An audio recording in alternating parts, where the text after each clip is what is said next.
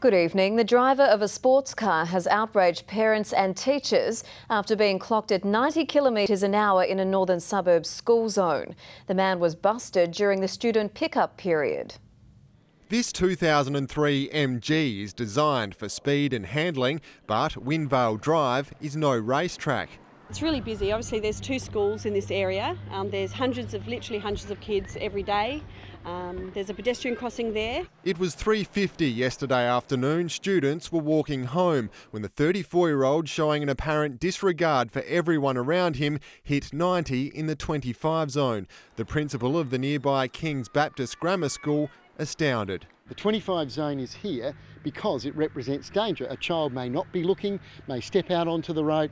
Police say it was simply irresponsible, impounding the vehicle for 28 days. The driver, who's from Wynn Vale, will now front court, charged with driving at a dangerous speed, but parents say he should count himself lucky. I mean, if he hurt somebody or took someone's life, you know, 28 days hardly, you know, you know, pays for anything like that. Crashes in 25 zones are worryingly common in South Australia. Most recent statistics show there were 35 in 12 months alone. On our roads this year, nine children under 16 have been seriously injured while walking, a further eight while riding bikes. When there's idiots going past here doing that, then there's no hope really. Someone's going to get killed. Ben Avery, 9 News.